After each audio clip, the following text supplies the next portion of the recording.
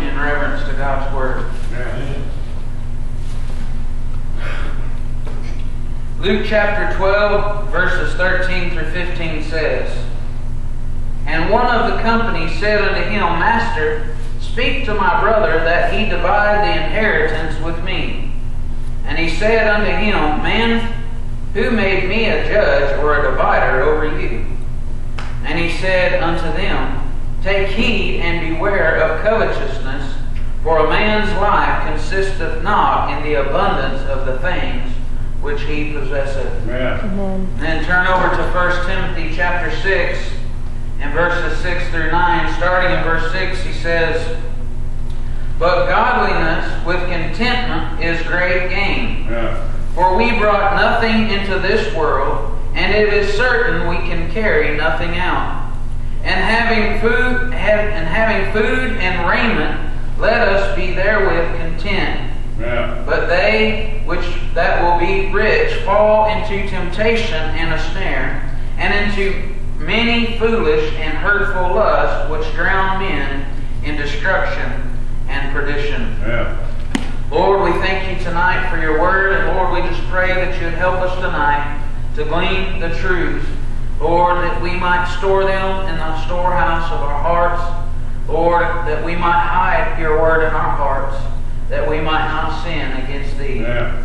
Lord, we just pray that you would just be with all those who aren't here tonight for sickness and health, for traveling. Lord, keep them safe and bring them back to us. Lord, that we might all work together for the furtherance of your gospel and your kingdom. In Jesus' name we pray. Amen. Yeah. I want to preach uh, tonight about beware of covetousness. Yeah. Beware of covetousness. And we find here in Luke chapter 12 and verse 13 uh, one from the company that was following uh, Jesus and, and his disciples and apostles came and, and spoke to him and said, Master, can you speak to my brother that he would divide the inheritance, our inheritance with me? You know, my brother's kind of being stingy and he's not giving me some of that inheritance. Can you talk to him and convince him that, you know, part of it's mine? And Jesus was like, come on, man. he said, man, who made me a judge or a divider over you? Take heed and beware of covetousness. For a man's life consisteth not in the abundance of the things which he possesseth. Yeah. The point wasn't about the inheritance, it was where the man's heart was. Yes. His heart wasn't on the things that Jesus had been teaching and, and telling them. His heart the whole time had been on that inheritance. That's what he was consumed with. Because his heart was coveting those worldly things. Yeah. The abundance of things that he wanted. And then, of course, in 1 Timothy chapter 6, it tells us we came into this world without anything, and we're going to leave without anything. Amen. Amen. we brought nothing into this world, as it says. And we are going to take nothing out with us. He said in verse 6 But godliness with contentment is great gain. Yeah. And in verse 8, he tells us, In having food and raiment, let us be therewith content. That is probably one of the most basic, I mean, truths and wisdom of God's Word, isn't it? Mm-hmm. Yeah. It is the, the most simplest wisdom that anyone can understand. Because everyone understands that when we were born into this world, we were born into this world naked. Amen. None of us had anything when we first came into this world. All the things that we have had came from our mama and our daddy. You know, and our mama took care of us, and our daddy provided a house for us to live in and all that. But you know what? As far as we are concerned, we had nothing.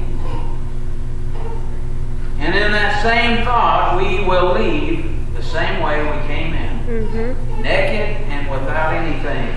Amen. Look at Job chapter 1.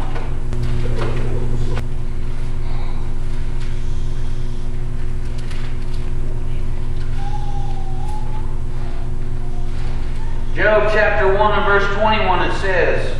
well, let's read verse 20. It says, Then Job arose and rent his mantle and shaved his head and fell down upon the ground and worshipped and said, Naked, I, naked came I out of my mother's womb, and naked shall I return thither. The Lord gave, and the Lord hath taken away. Blessed be the name of the Lord. Amen. Amen. The Lord gave, and the Lord hath taken away. Blessed be the name of the Lord. Brother Clifford shared that song on Facebook not too long ago. Man, that's a powerful song because it comes from the Word of God. Amen. Amen. I love songs that come straight from the Word of God because Yeah. there's power there in the Word of God. But hey, it doesn't matter the things that happen in this life and the things that we obtain in this life. You know what? The Lord gave and the Lord taketh away, but blessed be the name of the Lord. It shows where our hearts and our minds should be, not on the things of this world, but on the Lord, who gave them. Amen? Yes. Who has the power to give them and has the power to take them away. Blessed be the name of the Lord. We need things in our life. We go to God who can give those things Amen. or who can sustain us and give us the things that we truly need. Amen? Our hearts and minds shouldn't be on the things that we obtain, but on the, on the Lord God who has blessed us with those things. Amen. Whether we have them or we don't have them, God is blessed. Amen? The Lord is blessed. He is good and righteous. Amen. Look at Psalms chapter 49.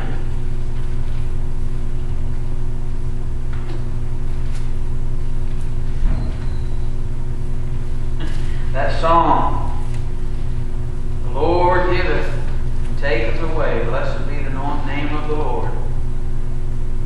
I served him before, I'll serve him today. Blessed be the name of the Lord. Amen. That's what it's about right there. Psalms 49 and verses 16 and 17, he says, Be not thou afraid when one is made rich, when the glory of his house is increased. For when he dieth, he shall carry nothing away. His glory shall not descend after him. Amen. You know what? We got all these people who are rich and famous, and you know, everybody builds them up and, and looks at them as, as being great, you know, and, and they want to read about them in the magazines and they want to know everything there is to know about them, and they spend their lives wanting to be like them and dress like them and act like them. When you know what? When they die, they're going to die the same way we're going to die. Right. The rich man is going to die just like the poor man. And that's with nothing. Mm-hmm. You're not going to take anything away with you when you die. You know what? A sad thing, and I know some of this is just for the, the, the uh, family to be able to mourn the loss of a loved one and stuff like that, but it's still silly to me. I was the only Catholic funeral I ever went to, and I felt I felt wrong. My spirit was wrong during the whole thing because everything that happened was wrong. But you know, the family was coming up there and they were putting her pack of cigarettes in there in the casket with her and her favorite lighter, and they were putting all these different things, some Oreos. They were just packing her, you know, funeral thing with the things that she liked. And I'm thinking, this is ridiculous. I know these people need to mourn, don't get me wrong, okay? I know that there's a process in mourning for lost loved ones. But she ain't taking none of that with her. Mm-hmm. You know what? People need to understand that the things of this world don't matter when it comes to life and death. Yeah. It's the Lord that matters. It's Jesus Christ and His Word that matters. Yeah. And once we leave this world, it's too late to make changes. Yeah. You can't go back and do things differently once you've left this world. And we can't go back and change the past anyway. You know what? We can change today. Yeah. Because today we have right now.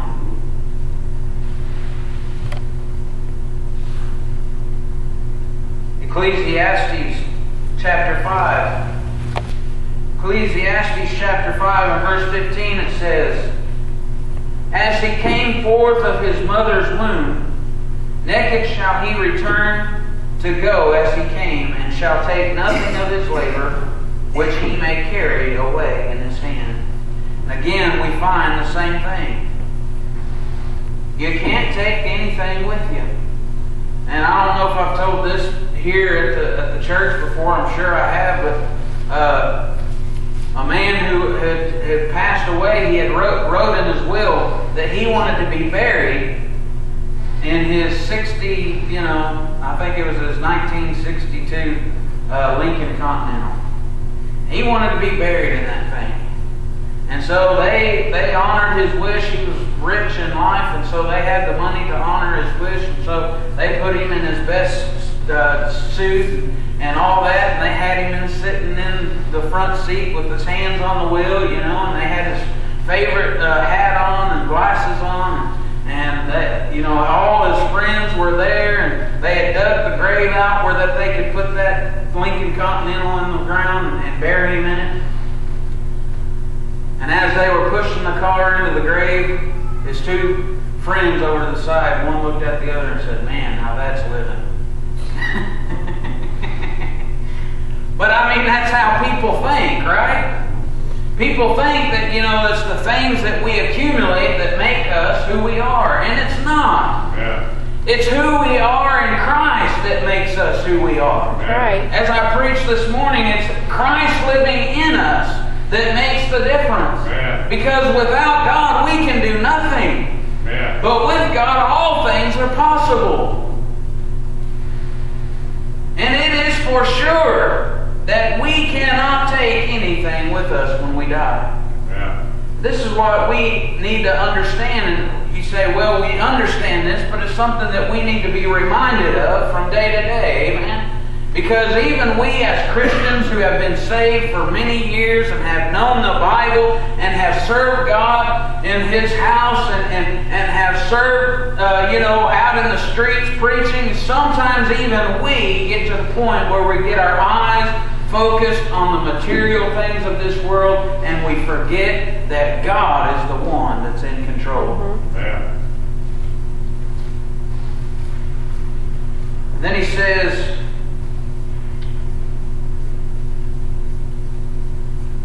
having food and raiment, let us be therewith content. You know, God is going to give us the things that we need. Amen? Amen. We might not have all the things that, you know, our neighbors have. We might not have all the things that these superstars have or, or you know, these rich financial bankers have. But when we serve the Lord and we have Jesus as our Lord and Savior, we're going to have everything that we need. God is going to provide for us. And with what God provides for us, we need to be content with that. Amen? Yeah. We need to be content. Having food and raiment. If that's all we have is food and clothing, then we need to be content if that's yes. all we have. But you know what? We've been blessed way more than that. Mm-hmm. You know, we've been blessed with so many things. You know, in, in America today, we uh, park our cars out in the driveway and, and our garages are full of junk, you know? Mm-hmm. I mean, We have so much stuff. We've been blessed way more than what we deserve. But you know what? With all that stuff, sometimes can come the burden of worrying about stuff. That's true. God doesn't want us to worry about that stuff. He wants to be us to be content with if we have clothing and food, then we need to be content. Amen. Because God is going to take care of our needs. Look at Psalm chapter 37 and verse 16.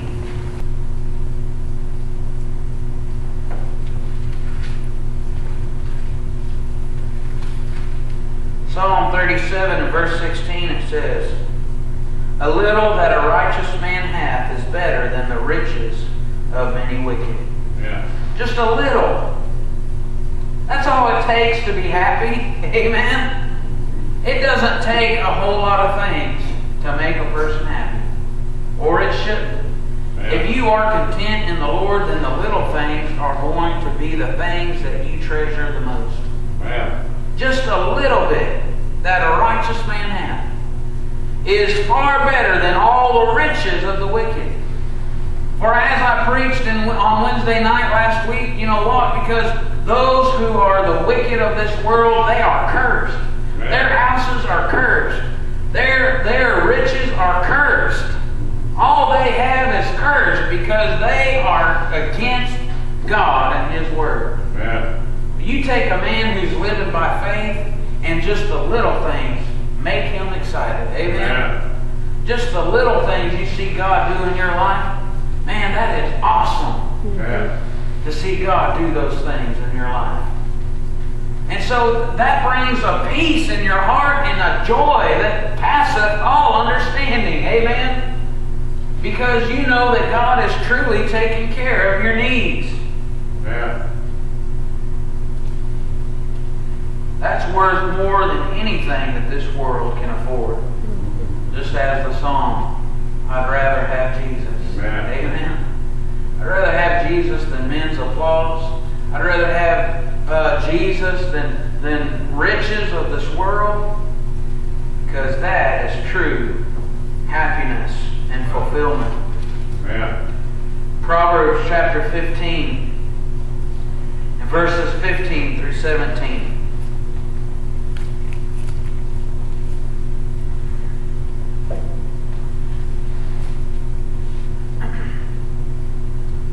Says, All the days of the afflicted are evil, but he that is of a merry heart hath a continual feast. Amen. Better is little with the fear of the Lord than great treasure and trouble therewith. Better is a dinner of herbs where love is than a stalled ox and hatred therewith. Amen. I love that. Amen. But he that is of a merry heart hath a continual feast. Isn't that what it's about? Amen. Having a merry heart. Man, when you know that God's taking care of you, you feel loved, right? Amen. You know what it is to feel the love of Christ in your heart and in your life. You have something to sing about. Amen. Not only that, you know if you die, you got a home in heaven Amen. where you'll never have to worry about another thing ever again. Where God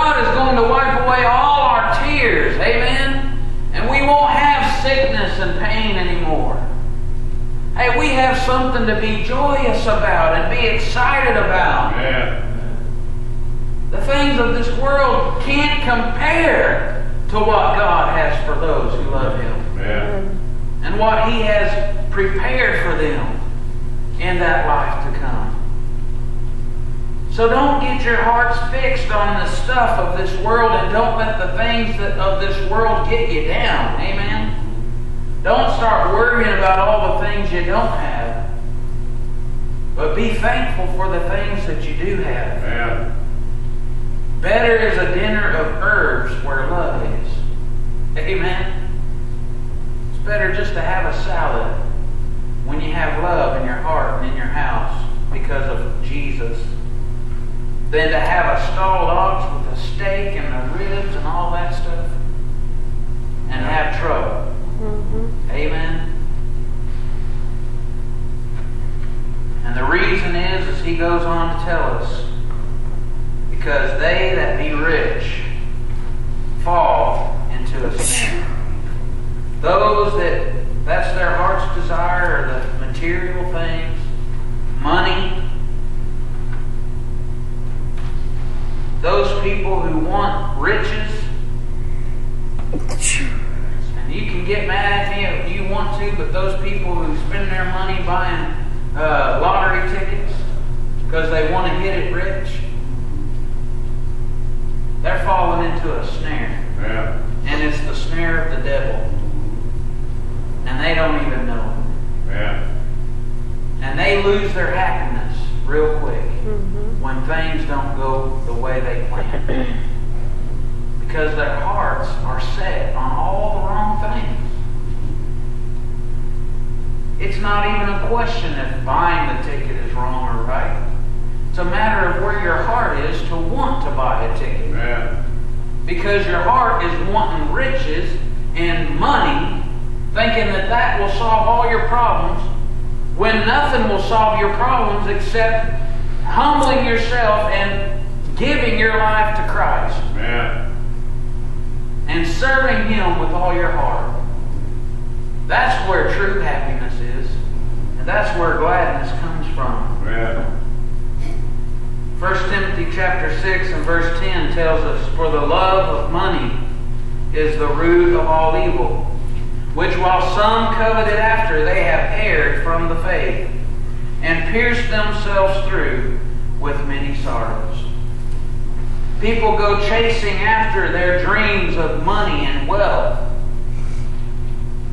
And their dreams of money and wealth take them far from the faith that is of, of God's Word. They have erred from the faith. Yeah. They have put doubt in their own minds of how God can take care of those who follow Him. Yeah. And in doing so, have pierced themselves through with many sorrows. You know, life is so much more simple when you just trust God. Amen. Isn't it? Yeah. Life is so much more easy and simple when you just believe God's Word and trust Him that He is going to do what He said He would do. Yeah. Because then you don't have to worry about things. Amen? You don't have to worry about the material things of this world because you know God has your best interest at heart. Yeah. Then look at Matthew chapter 13.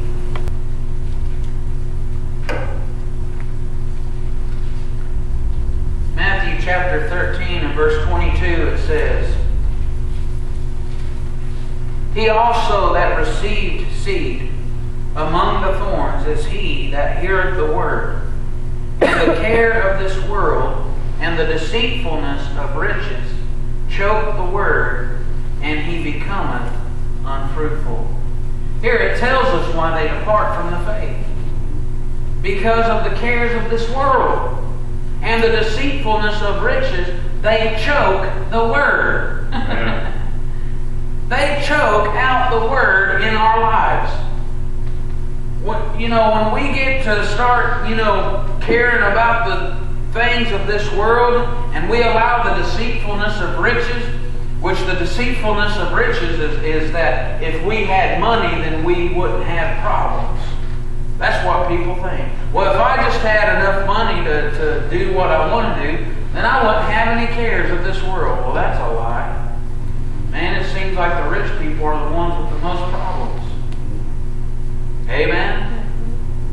Just turn on the TV. Just look at the tabloids when you're standing there. no, don't look at the tabloids. Some of them are just outlandish. But you know what? I mean, it doesn't take a, a rocket scientist to figure out people who are rich have just as much problem, if not more, than the rest of us do. But you know what? If we allow those things to overtake us, then they are going to choke out the Word of God in our lives. Yeah. Now that's why we need to put those things away from us and allow the Word of God to dwell in us richly in all wisdom. Amen. Sanctifying the Lord God in our hearts and being ready to give an answer to every man of the hope that lies within us. Amen. And they have to see that hope, amen? And that hope comes from trusting in God Amen. and knowing that God is going to take care of our needs. And then Matthew chapter 6, and we'll be through.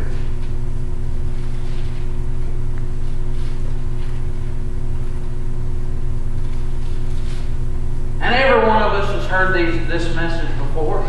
It's not new. But you know what? We have to be reminded. Amen. Amen? Mm-hmm. We have to be reminded.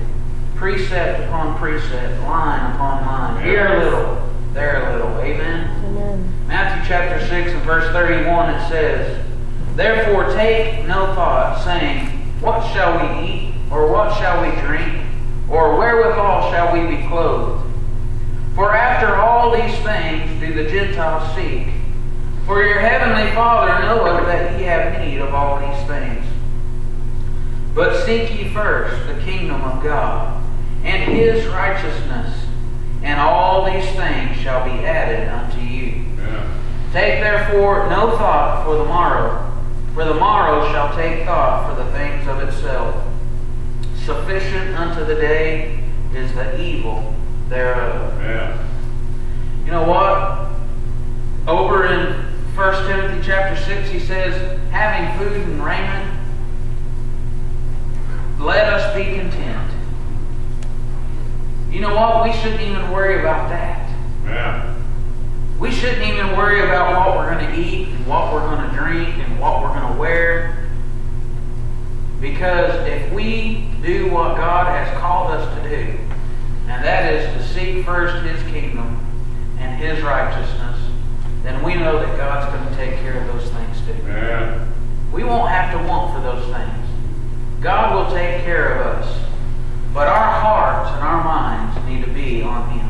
Amen. Amen. Our affections need to be on those heavenly things where Jesus sits at the right hand of God the Father, where the angels stand around the throne of God singing, Holy, Holy, Holy.